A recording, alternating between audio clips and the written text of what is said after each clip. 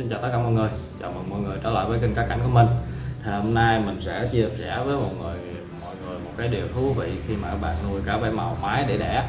Đó thì uh, cái điều này nó cũng cực kỳ thú vị luôn nha các bạn. Đó thì uh, mình sẽ vào chủ đề ngay sau đây thôi. Đó còn bây giờ mình sẽ quay uh, camera lại cho các bạn xem cái đàn cá trong hồ của mình nha đó đây là đàn cá của mình đó các bạn. Đó trong quá trình mình nuôi cá thì các bạn mua cá về thì các bạn thường thường các bạn hay mua cá trống và cá mái trong một cặp đúng không? Đó để mà mình nhân giống mình về mình gầy giống ra. Đấy cái đặc tính sinh sản của con cá bé màu này thì các bạn biết là một tháng nó sẽ đẻ một lần và cũng có thể thời gian ngắn hơn tùy theo điều kiện các bạn nuôi tùy theo uh, chế độ trang của các bạn. Đó tùy theo con cái của các bạn có sung hay không. Đó cái đó là cái khoảng thời gian sinh sản của, của con cá bảy màu một tháng một tháng là sẽ đẻ một bầy con. Và cái đặc điểm của con cá bảy màu nó cũng rất là đặc biệt ở đây là cái con cá bảy màu mái nó có thể lưu tinh. Nó có thể lưu tinh cũng như các bạn nó đã đẻ được uh, như các bạn đã nhốt các nhốt chung nó lại cá trống đẻ được một bầy con và sau khi đẻ bầy con nó ra, các bạn có thể tách cá mái ra, các bạn nuôi riêng. Và nó vẫn đẻ được. Nó vẫn đẻ được tầm khoảng hai hai bầy nữa mà không cần cá trống 2 đến 3 bầy gì đó. Tùy theo cái khả năng mà ôm trứng của nó, khả năng lưu tinh của nó, tùy con. Nhưng mà tầm khoảng hai bầy, một bầy, hai bầy, ba bầy cũng có thể dao động ở mức đó mà không cần đến cái con cá trống, các bạn có thể nhốt riêng con cá mái ra hoàn toàn riêng luôn. Đây. Đây là cái mà mình ờ, muốn chứng minh cho các bạn coi. Ở trong hồ này có cá con nữa nè các bạn. Các bạn thấy không? Đó, ba con cá con, bốn con cá con. Mới vừa đẻ luôn đó các bạn. Không có một cái con trống nào trong hồ hết, chỉ có hai con cá mái này thôi. Từ hồi lúc mà nó đẻ cái bầy đầu tiên là cái bầy cá lớn đây nè đó là hai con mái đẻ cái bầy cá lớn này nè. Hai con đẻ suy xích nhau một hai ngày. Đó, thì mình đã nhốt riêng bọn chúng ra đây luôn. Mình không có bỏ trống vô luôn. Thì tới hôm nay thì nó đẻ thêm một bầy nữa này, các bạn thấy không? Chứng tỏ cái con cá bảy màu mái, nó có khả năng lưu tinh rất là cao.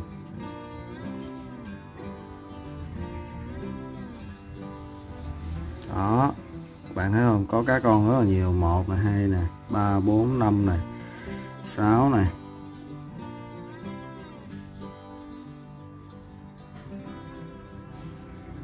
À. đó.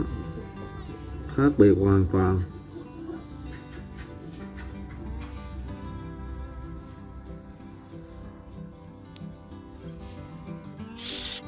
Đấy, các bạn có thể nhốt các con cá mái hoàn toàn riêng luôn và không cần cá trống. Trong khoảng thời gian hai ba bảy tiếp theo. Thì uh, bởi vậy khi mà các bạn muốn ép cá các bạn muốn ép cho cá đẻ và nhận giống thì các bạn phải chọn lựa kỹ càng con mái nào với con trống nào các bạn nhốt chung với nhau.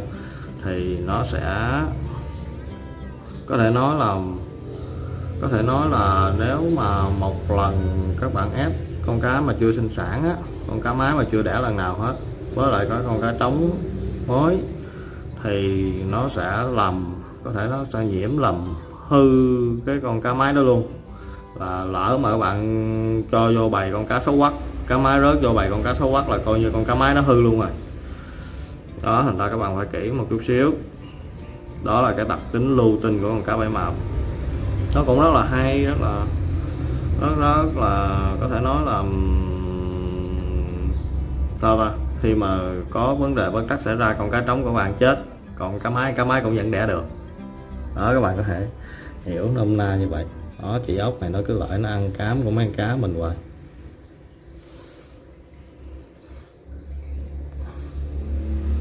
Đó rất là nhạy cám luôn. Chị ốc này nó nhạy cám và trùng chỉ luôn đó, các bạn.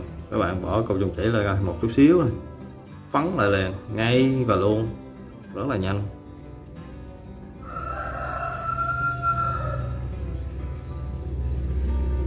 Đó đó là cái đặc tính của cái con cá bảy màu cực kỳ đặc biệt. Đó và mình chỉ thấy ở những ở con cá bảy màu thôi chứ mình không có thấy ở cái loại cá beta. Cá beta thì mình không có thấy cái trường hợp đó. Nhưng mà con cá bảy màu này có thể là trong bụng của nó có thể ôm uh, có thể nói sao ta? À, chắc mình nghĩ là trong bụng của nó ôm chắc cũng tầm khoảng mấy trăm trứng hay sao đấy rồi nó thụ tinh là thụ tinh một lần cho hàng loạt trứng đó luôn. Và khi mà nó à, trong cái buồng trứng của nó là lớn có nhỏ có cái nào lớn trước thì nó sẽ đẻ trước còn cái nào nhỏ nó sẽ từ từ phát triển nhỏ đẻ sau. Đấy mình có mình mình nghĩ là như vậy khả năng lưu tinh này rất là hay, của cá bảy màu, nó rất là đặc biệt.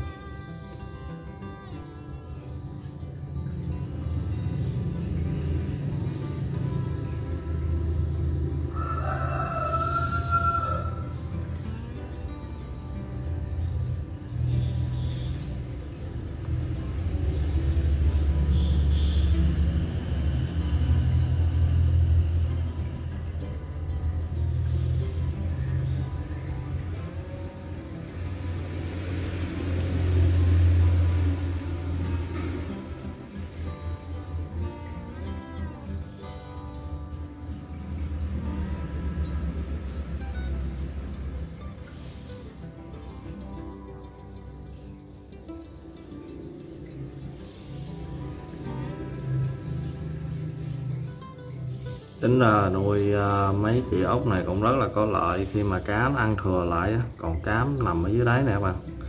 Còn cái cám nằm ở dưới đáy nè. Cám nằm ở dưới đáy này thì nó sẽ làm nốt phần việc còn lại luôn.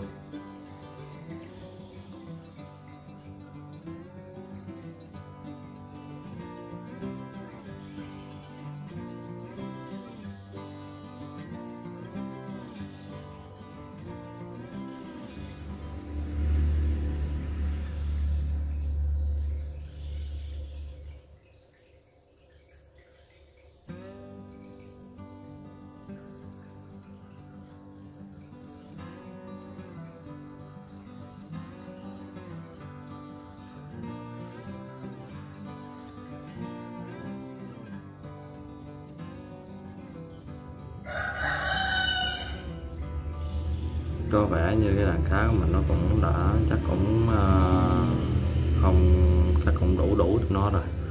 Nó ngơi rồi thôi kệ để cho nó ăn luôn.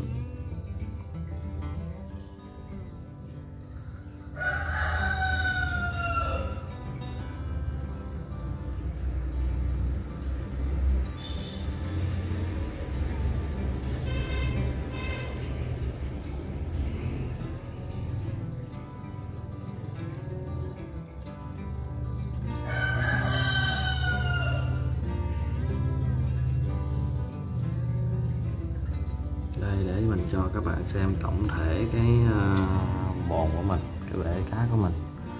Đấy, tổng thể nha các bạn.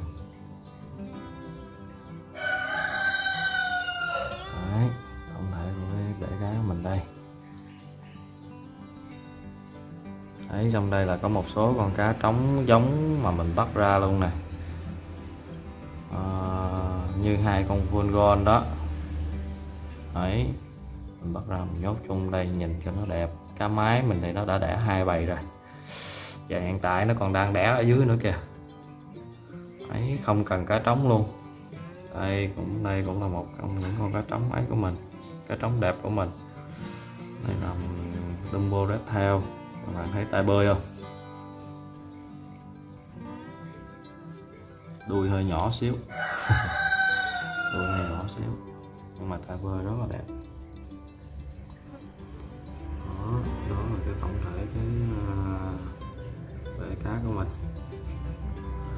Đấy trong đây là mình có hai thành viên nữa này. Chi ốc một này. Chi ốc hai này. Đó, hai thành viên. Để cho nó dọn phân với lại nó dọn cám thừa rồi trong bể luôn các bạn.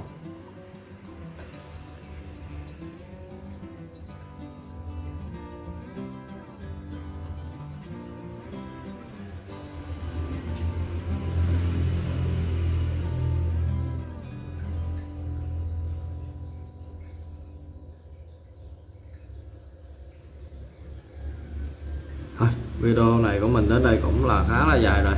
Đó, hy vọng các bạn sẽ có một ngày à, làm việc vui vẻ này. Đó, và hãy giữ gìn sức khỏe ở nhà. Hãy giữ gìn sức khỏe để à,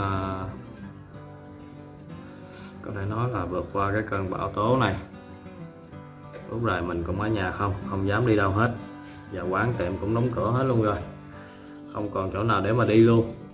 À, xin chào tạm biệt các bạn hẹn gặp lại các bạn vào video tiếp theo của mình.